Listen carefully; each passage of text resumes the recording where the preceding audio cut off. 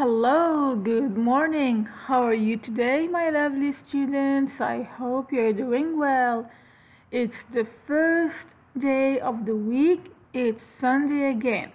And today is Sunday, June 14, 2020. In the lesson of today, we are going to revise what we have learned about two-dimensional shapes. So are you ready to start the lesson? Well done. So let's get started. By the end of this lesson, you will be able to recognize attributes, sides, and angles of two-dimensional shapes. Here we go, mental math time. So let's read the question together.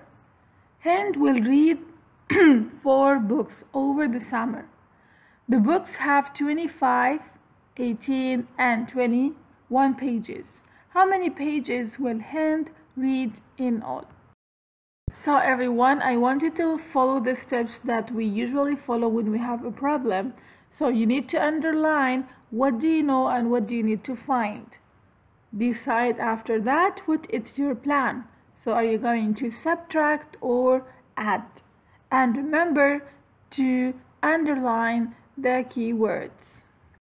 So stop the video for a while, try to solve the question and then come back to check your answers. So let's check the answer together.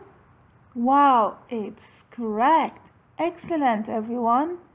So everyone, I want you to focus and concentrate because this is the problem of the day. So I wanted to look everyone at the triangle and tell me how many sides and angles does a triangle have. So I'm gonna give you some time everyone. If you can, draw the triangle on a piece of paper. So how many sides are you going to draw? So let's do it together everyone. One, two, three. And how many angles everyone? Let's check together.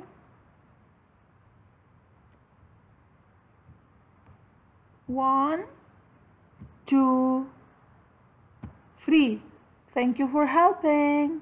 And now everyone, let's watch the video together. I want you to click on the link and watch the video about sides and angles. Okay, so what I want you to do everyone here is to open your math page 749. Look over here. I'm to give you some time. I want you to count how many angles and sides does each shape have. Okay, so stop the video everyone for a while. Count the sides and angles and after that come back to check. Well done everyone, your answers are correct.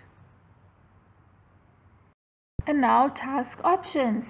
On the following slides you will see two different tasks, so you can choose to complete task 1 or task 2. So what I want you to do everyone is to count how many sides and angles does each shape have, okay?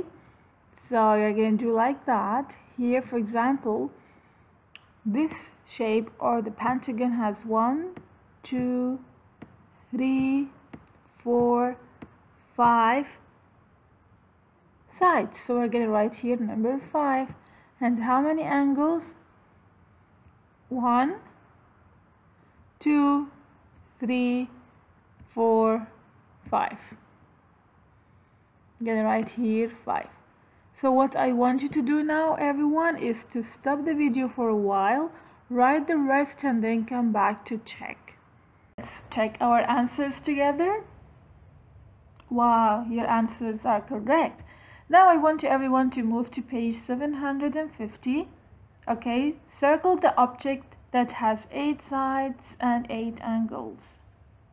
So take your time and let me read the second question. Let's say Omar drew a shape that has six sides. What shape did he draw? Stop the video for a while, write your answers and then let's check the answers together. Excellent! Over here you can see a shape that has 8 sides and 8 angles. And the answer over here is hexagon.